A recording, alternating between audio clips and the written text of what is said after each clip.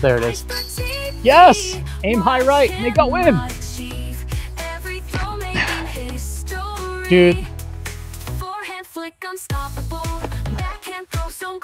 I think that's okay. Don't go OB again.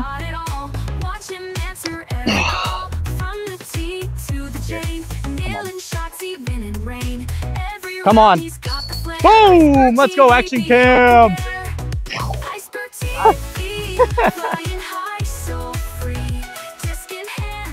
I'm sure you've already heard, but Gannon is in fact now the number one rated disc golfer in the world. And to celebrate that, we're here at Ballantyne Temp, a temporary course on a golf course here in Charlotte, North Carolina. I've got a Discmania only bag. I've got some really cool collector gems in here. Uh, yeah, we're just going to play Discmania only round, play at least nine holes. We'll play the whole course, probably film nine. I got the FD2 here and the Echo Star DD3, breaking out some collectors on the first hole here. Got a 273 foot par three.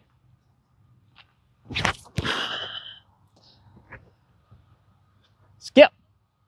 Oh, he didn't get any skip. We always go two off one. That's Charlotte rules. We got the Echo Star DD3 here as well. That's going to be really nice. Get left. Oh, yeah. It should be parked for the easy birdie. All right, let's do it. I'm sure none of you guys are surprised with Gannon Buhr being the number one player in the world. This is something we all saw coming, and I've had a lot of players that have come up with really high expectations, but none quite like Gannon Buhr. He's been able to rise to the top, picking up four or five wins already this season, stamping his place as the best player in the world, securing that highest rating as well. It's pretty exciting to see, and it's really fun to watch. And I'm excited to throw some Discmania discs today to celebrate Gannon's achievement. Now the Echo Star DD3 is something that's way too flippy for Gannon. It's one of the flippiest, most understable runs of DD3 that's ever been made, but it's one of my favorite Discmania discs in my collection. When it comes to bomber DD3s, there's nothing quite like these old Echo Star DD3s. We are able to tap in the birdie with the new Notion. And to complement that beautiful baby blue Echo DD3, I've also got the dark blue Echo DD3, hole two, 355 par three. Oh, yes. Come on. Dude. Dude. Dude, that's, that is insane. All right. I can't believe it. I went about 35 long on a 360 foot hole. I pumped this DD3 about 400 feet. I haven't thrown that thing in a while, but I remember why I like it so much.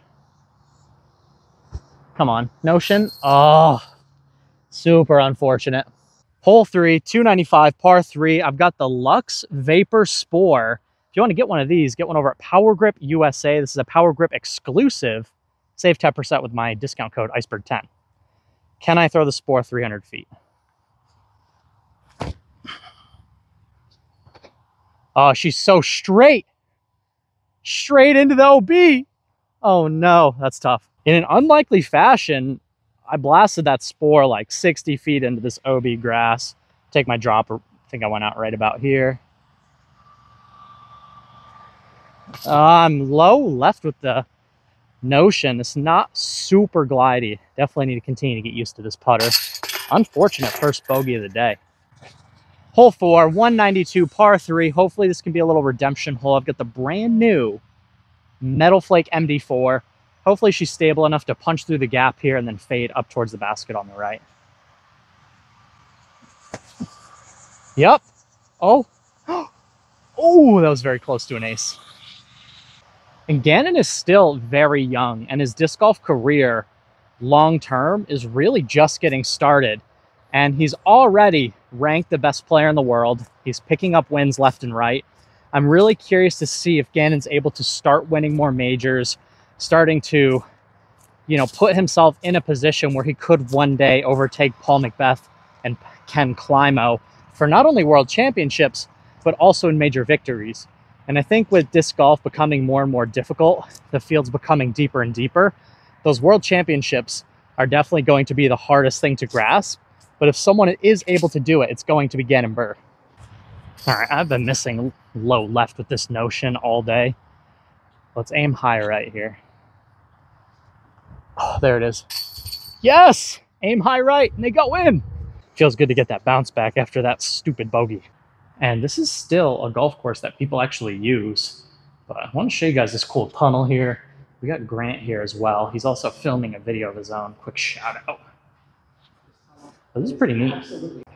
Hole five, 580 foot par four baskets way down the fairway on the left. Gonna go back to the baby blue DD3 here. OB left, just want to keep it straight.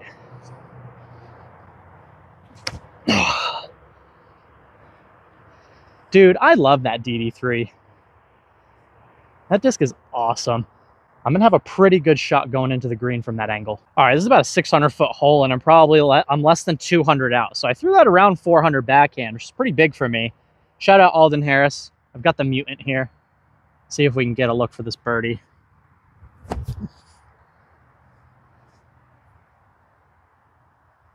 That's gonna give him a putt. Let's go. Shout out Alden. Shout out this Echo DD3. Now, I've never been a huge fan of the Mutant, but coming into this green, I was really happy I could just throw it right at the OB and trust the Mutant to swing in really hard. Now we just need to trust the Notion. Dylan. Always putt with your Mutant. Oh no, I missed the 10 footer. Hole seven, 363 par three. The basket is way up there on the left. This course is asking a lot of my distance right now. Still going DD3. I've got a lot of really cool discs in the bag, so I'm hoping for some shorter holes to showcase some of the collector items. Dude, that Echo DD3 is so fire. Get up there. Let's go. All right, I'm throwing the disc really well right now, but the, I need to figure out how to putt with this notion. I need to figure it out fast. We need to aim high right. I'm going to aim right at the number seven there. Oh. That's better. That's an improvement. But we're going to take another par, unfortunately.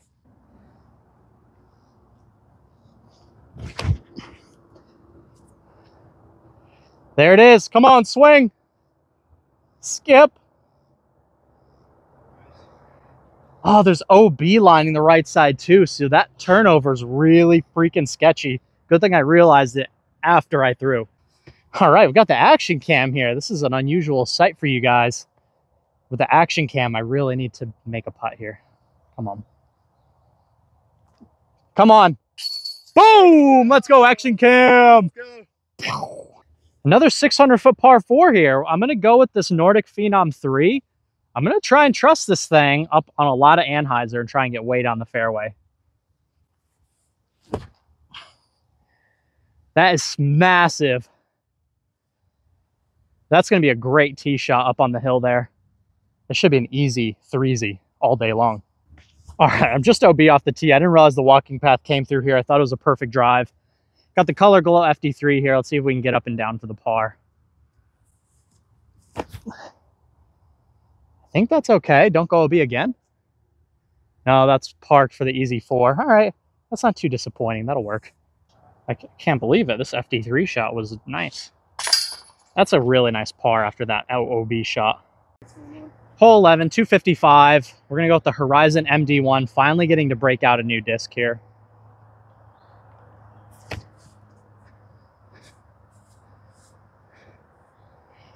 Fade a lot.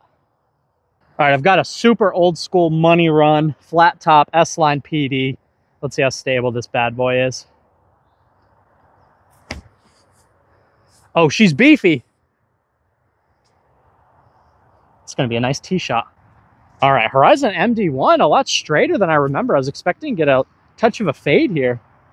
Nice little downhill putt. I've been missing low, so this should be right up my alley.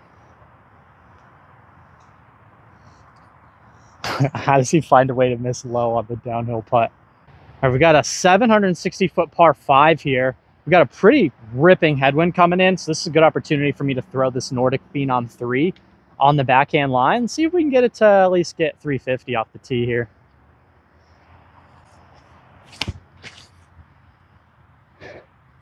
It's funny how much more overstable the Nordic is than the Echoes. The Echoes would flip and be gone, possibly rollers, and that thing did not turn at all for me. So much more stable.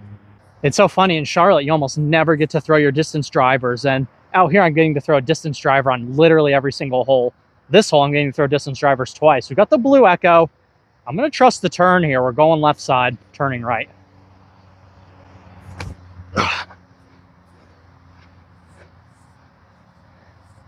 Did not get as much turn as I wanted. Barely in bounds. That should be an easy up and down for the birdie. We're in bounds by about four inches here. I'm going to take my meter. Got the Cosmic Fury 1, Lux Vapor, Logic. Hopefully we just park it. Low stress putt. Uphill tester. A little more stable than I thought it was going to be. I thought she was just going to pick up and push nice and straight. I forgot how stable that disc was. All right, our numbers are pretty bad with the Notion so far. Gotta aim high right.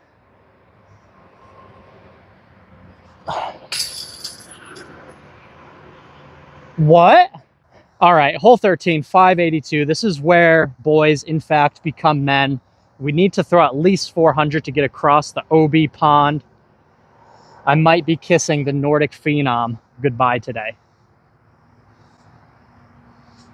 Ugh. Yes. Yes. Go!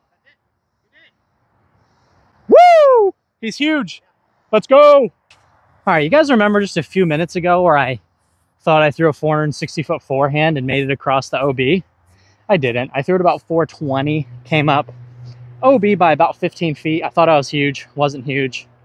Pretty disappointing, but you win some, you lose some. Hole 14, 260. We're going to go back to the Lux Vapor Spore Power Grip exclusive. 260 up in the air. That should be it. Swing for the kid.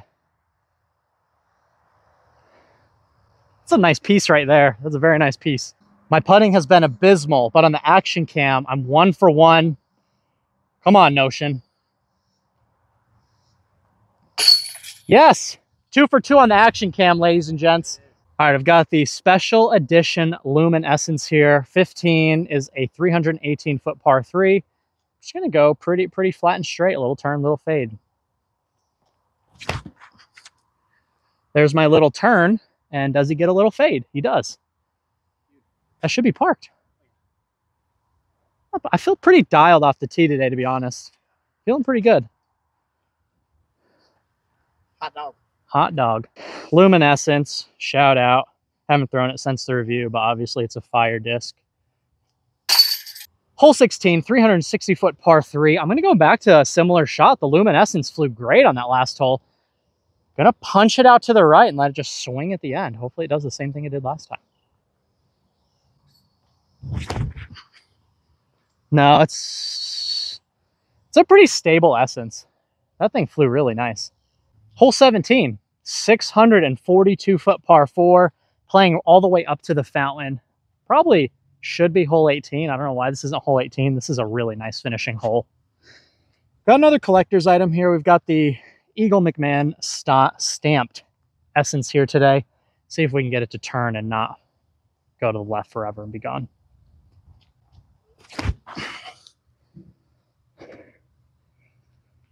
That needs to get down. It's safe. All right, throwing up towards the fountain here. Pro tip, when you're throwing uphill, you want to make sure to go with your more understable driver. So I've got the Flippy Echo DD3 here. Hopefully we can get a look for the birdie.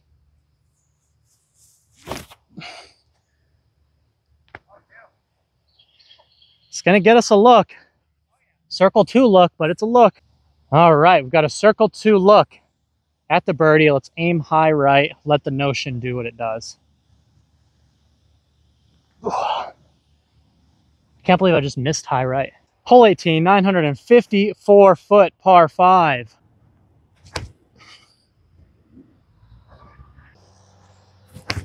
Oh, that's so bad.